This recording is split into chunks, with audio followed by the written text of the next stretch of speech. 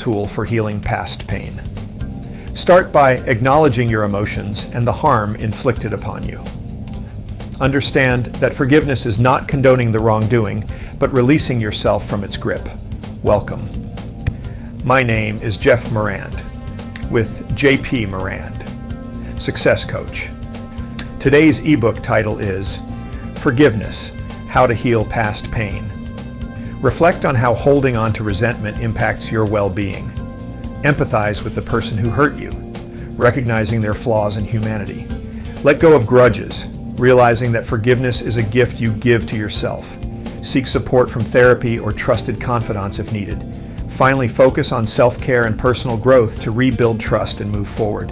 In forgiving, you liberate yourself from the past and pave the way for inner peace and healing. I think you're going to love today's ebook.